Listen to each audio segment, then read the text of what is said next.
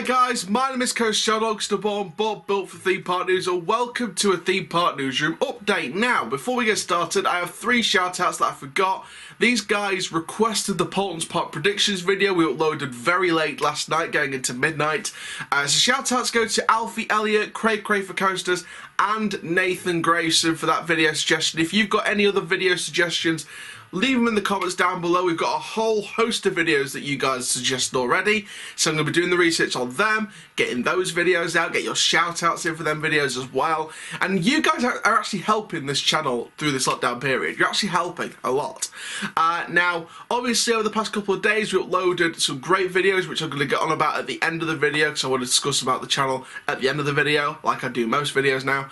Uh, but before we get started, please like, comment, subscribe, click the notification bell so you never miss a YouTube video. Please share with your friends, your family, and on social media. And make sure you keep getting your questions in using the hashtag question before or after your question to celebrate 2,000 subscribers. That'll be released when we hit that milestone. And for now guys, let's get into this video. So today is a news update on a potential new way for theme parks to reopen and how the queue lines may be abolished. Now this was a news article. Uh, I believe the news article website is called This Is Money or This Is For Money. I think it's This Is Money. Um, and I'm going to share with you all the details and then share my thoughts on what I think of the article. So let's have a look then at the latest from this article. So, the thrill seekers may never have to queue for white knuckle rides ever again as theme parks draw up plans for a safe reopening. Technology firm Accesso, whose clients include Thorpe Park and Alton Towers owner Merlin Entertainments, is working on the rollout of a system that will let customers book time slots on rides via their mobile mobile phones. Mobile? Mobile phones. Uh, visitors to theme parks face the prospect of longer waits due to the need to space people out on rides and to allow time for extra cleaning. The technology will allow visitors to book digital tickets and to keep their place in virtual queues. The abolishing of physical lining up will help it to meet COVID-19 safety standards. Merlin, who also owns Madame Tussauds, already uses Accesso's Q-Smart system as a premium option at five of its 130 global attractions, including Legoland Windsor. Now, Accesso Chief Executive Steve Brown is working on a blueprint to make virtual queuing the only way for visitors to access rides. Last week, he signed a deal with the Walibi Holland theme park in the Netherlands, owned by French ski resort resort operator Compagnie des Alpes, to introduce virtual queuing. Brown says the technology could also help cruise ships, football stadiums, and airport security to operate safely. Any attraction that draws large crowds will need to open in a socially distant way, he added. We are the technology version of the hand sanitizer. And that's actually an empowering statement to end that article right there. So, that, my friends, is the article. Uh, now it's time to share my thoughts on that. So, digital queuing so having to book digital ride slots uh, so you're not having to queue you can just walk right through the queue line uh, and onto the ride. Now obviously oh, you know not you know booking digital scare maze tickets but you know going to scare mazes at certain times you know that's been you know that's been around for a couple of years now. So going to rides or mazes at certain times is not you know, nothing fancy. You know, uh, I believe the uh, I think Disney do. Uh, like obviously they do like the extra ride time slots, like the early morning ride time slots, uh, up until a certain time. So obviously working to different time periods is not a new norm for theme parks, but I think digital, digital queuing would be, and I think that this is going to be an interesting way of doing it. Obviously, like I said, it would be longer to wait for your ride because, of course, they're going to completely cleaned down the coaster train, um, you know, and things like that. So obviously it's going to take a little bit longer. However, I do believe that if they want to sort of put a plan in place to reopen the theme parks by the end of this year, going into 2021, I do personally believe that digital queuing would be the good way forward. I think that even though it would be longer to wait for your ride, I do believe personally that digital queues would be the new norm.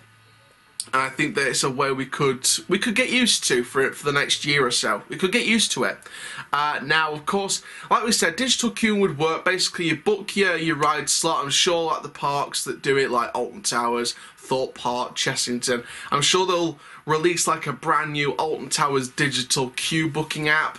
Uh, or tell you to, you know, that one of the rules before you come to the park is to download the app, you know, before you come into the park.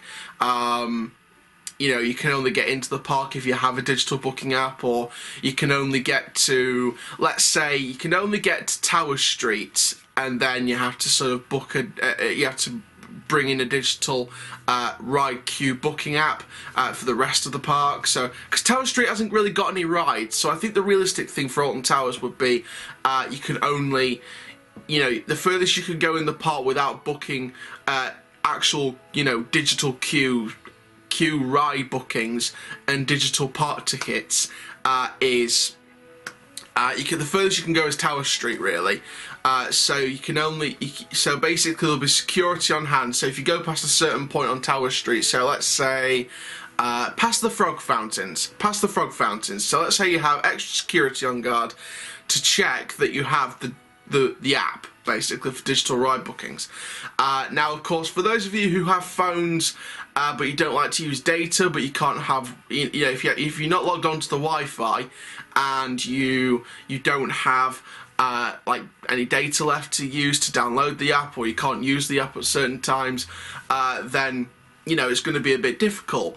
But I think if you have a digital system, or to be fair, what they could do is you contact them in advance if you wanted to, and you get sent by delivery, or you sort of kind of like football stadiums where you sort of if you want to pre-book tickets, you sort of you know, you get your names and then you go to the ticket office and you say, yeah, you know, I'm looking for tickets. What's the what's the surname? Give them the surname. They get you tickets. Something like that would work very very well. If you sort of book in advance, you can tell them your surname, uh, the let the the first name as well of the person that's buying the tickets for the for the whole group, uh, and then you go to uh, the box office and you physically ha- and and obviously the staff will be wearing gloves, but you get physically handed a sheet uh, where you've got uh, specific time slots that you may have suggested when booking the tickets in advance.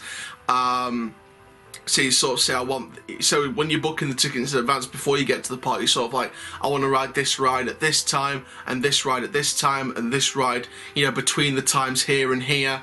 Um, so I do believe personally that uh, that would be a way forward and I think it could be a way that works even if you're not booking in advance. If you come to the park you sort of say you know hello I'm booking tickets for all four of us uh, and this sort of again via glove uh, the printout and they give you a, a sheet uh, with the time slots that you see. So before you print it out, you sort of tell them, you know, I want to ride this ride here, here, and here. Rest of them, you know, put them wherever you want, wherever time slots you want, uh, and then you sort of get like a, a sheet of paper, uh, and you sort of like, for example, you get a sheet of paper that says uh, CBeebies Land from 10 a.m. till 11 a.m. or 10 a.m. till 10:30. Uh, all specific attractions between 10:30 and 10:45. You know, so in that 15 minutes, you got 15 minutes to go through and ride, or you get, or you have to get the the next slot, or you get early access to the next slot that kind of thing. So it would be a very difficult process, but it's not one that I don't think the parts can't work around. And I think it would be uh, a great way to work. I think that. Um, I think for vloggers, I think it would be a great way to uh, go through the queue lines without waiting. You know, and waiting behind people, in front of people. Um, obviously, it won't be good for like still shots, but I think if you've got a free roaming queue line to walk around and you've sort of got like another five minutes to get into your slot, I think you could take a couple of shots while you're in the queue line uh, before you put your bags in the baggage hold. And of course, the baggage holds they're going to be improved. Of course, I'm sure they're going to be wearing gloves um, when giving you your wristband and things like that for your baggage hold, like Alton Towers do uh, with the wristband and the baggage hold, definitely for Smiler. And I'm sure for and 13 as well, uh, and other rides too. So, you know, I think the baggage hold system is going to be greatly improved to accumulate the safety standards as well. Um, so there's a lot of things that they need to do to get the parks ready and meeting safety standards. But I think that this digital queue idea with the rides, and I think my theory on digital on digital queues and digital park tickets uh, to save you having to actually go up physically to the box office and you know buy tickets hand in hand. I think you know, the only way you go to the box office is if you've either booked in advance and get a sheet of paper with the time slots for different rides, or you go up and you want to buy a ticket on part, you just say, you know, hi, you know, I'm buying on behalf of surname in the in the name of, you know, first name. Um, and you sort of give you preferences for any types of rides. You know, I want to do rides, some certain rides before 12 o'clock, etc., etc. Uh, and of course, those who book in advance are likely to be the first come, first serve policy. Uh, reward benefits, shall we say. Um, you know, I think when compared to when you book in advance, I think if they do use the digital queuing system for park tickets as well as you know ride slots uh, and different ride bookings, I think it is first come first serve, uh, and I do believe that if you don't you know book in advance so you don't book quicker than other people then you are going to lose your slot and there's a really good chance you have to ride it later or you may not get a chance to ride it at all. Uh, I do think that the Alton Towers could potentially extend opening hours to allow more guests to uh, enjoy the rides that they maybe not have got if they stuck to the usual opening hours. So maybe keep the park open an hour more than scheduled or a couple of hours more than scheduled uh, just to let people get more rides in uh, in their uh, uh, you know completed slots. Uh, so it's a very difficult process to get your head around, but I think with my theories about park tickets digitalised uh, and this digital queue system for rides, I think that it would be an overall good process to get used to uh, in the new norm, shall we say.